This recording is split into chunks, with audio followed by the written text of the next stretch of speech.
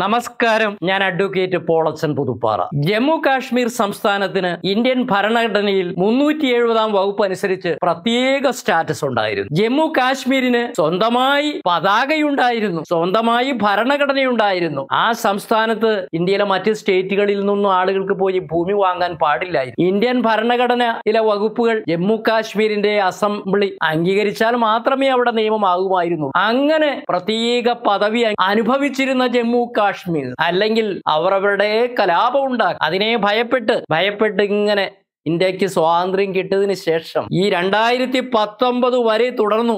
രണ്ടായിരത്തി പത്തൊമ്പതിൽ നട്ടലിലുള്ള നരേന്ദ്രമോദി അമിത്ഷായും ഒക്കെ ആ പ്രത്യേക സ്റ്റാറ്റസ് എടുത്തു കളയാൻ തീരുമാനിക്കുകയും അത് ഭരണഘടന തന്നെ ഭേദഗതി ചെയ്ത് ഇന്ത്യൻ പ്രസിഡന്റ് ഒപ്പുവെക്കുകയും ചെയ്തതോടുകൂടി സ്റ്റാറ്റസ് പോയി. പിന്നെ അതിനെതിരെ വന്ന ഒരു ബാച്ച് റിട്ട് ഹർജികളാണ് ഈ കഴിഞ്ഞ ദിവസം. സുപ്രീം കോടതിയിലെ അഞ്ചംഗ ബെഞ്ച് ആ ഭരണഘടനാ ഭേദഗതി അംഗീകരിച്ചതോടെ ജമ്മു കാശ്മീർ എന്ന കേന്ദ്രഭരണ പ്രദേശം അത് ഇനി സ്റ്റേറ്റ് ആക്കുമത്രേ. ഇതുപോലുള്ള ഒരു സംഭവമാണ് എറണാകുളം അങ്കമാലി അതിരൂപതയിൽ നടക്കുക. എറണാകുളം അങ്കമാലി അതിരൂപതയിലെ വിമതർ പറയുന്നത് ഞങ്ങൾ ഒരു പ്രത്യേക അതിരൂപതയാണ്. ഞങ്ങൾക്ക് കൊമ്പുണ്ട്. ഞങ്ങൾക്ക് മറ്റ് മുപ്പത്തിനാല് രൂപതകളിലെയും നിയമങ്ങൾ ഇവിടെ പറ്റില്ല. മുപ്പത്തിനാല് രൂപതകളിലെയും കുർബാനക്രമം എറണാകുളം അങ്കമാലിയിൽ പറ്റില്ല. ഞങ്ങൾ പ്രത്യേക ഒരു ജനുസാണ്. എന്താണ്? ഞങ്ങൾ ഒരു പ്രത്യേക ഞങ്ങൾ ആത്മീയതയിൽ വലിയ ഒരു ജനുസാണ്. ഞങ്ങൾക്ക് പോപ്പിന്റെ ലത്തീൻ കുർബാനയാണ് ഇഷ്ടം. ഞങ്ങളുടെ പ്രത്യേകത എന്താണെന്ന് വെച്ചാൽ ഞങ്ങളിൽ ഇതൊരു സമ്മിശ്ര സംസ്കാരം ഇവിടെ ഉണ്ട് ഞങ്ങളിൽ ധാരാളം പേർ ലത്തീൻ സഭകളിൽ നിന്ന് വന്നവരുണ്ട്.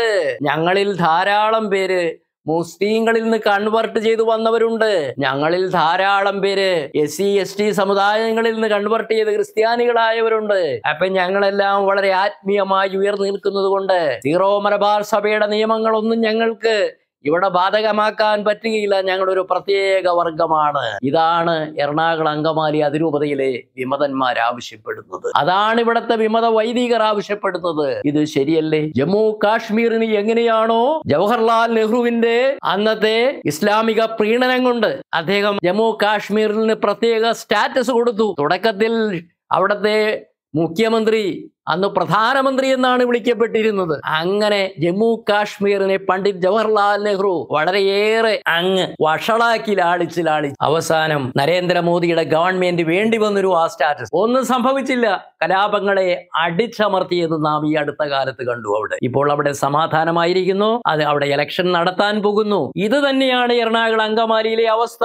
എറണാകുളം അങ്കമാലി അതിരൂപതയിൽ ഇവിടത്തെ വിമത വൈദികരുടെ ട്രേഡ് യൂണിയനിസം കൊണ്ട് അവർ ഞങ്ങളൊരു പ്രത്യേക വർഗമാണ് എന്നൊക്കെ പറഞ്ഞ് ഞങ്ങൾക്ക് പ്രത്യേക സ്റ്റാറ്റസ് വേണം പ്രത്യേക വേരിയന്റ് വേണം. ഞങ്ങൾക്ക് മറ്റ് മുപ്പത്തിനാല് രൂപതകളിലെയും കുർബാനക്രമം ഇവിടെ പറ്റുകയില്ല എന്ന് ആക്രോശിച്ചു കൊണ്ടിരിക്കുന്ന ഈ വിമതരെ അടിച്ചമർത്താൻ ഇവരെ ഇല്ലാതാക്കണമെങ്കിൽ അതേ നരേന്ദ്രമോദിയുടെ ചങ്കുറപ്പുള്ള സഭാധികാരികൾക്ക് മാത്രമേ കഴിയുള്ളൂ. ശ്രീൽ വാസിൽ പിതാവ് വന്നിരിക്കുന്നു. നമുക്ക് പ്രതീക്ഷയോടുകൂടി അങ്ങോട്ട് ഉറ്റുനോക്കാം. നമുക്ക് പ്രാർത്ഥിക്കാം. എറണാകുളം അങ്കമാലിക്ക് പ്രത്യേകം കൊമ്പില്ല എന്നും എറണാകുളം അങ്കമാലി തീവ്രവാദികളായ ഗുണ്ടാ വൈദികരെ ഈ ഭ്രഷ്ട് കൽപ്പിച്ച ഈ അതിരൂപതയ്ക്ക് വെളിയിൽ നിന്ന് കേരളത്തിന് വെളിയിലേക്ക് അയക്കേണ്ടി വരും. അതിന് നമുക്ക് അങ്ങ് സിറിൽ വാസിൽ പിതാവിനും ഓപ്പിനും നമുക്ക് പ്രാർത്ഥനയോടെ കാത്തിരിക്കാം. നന്ദി നമസ്കാരം.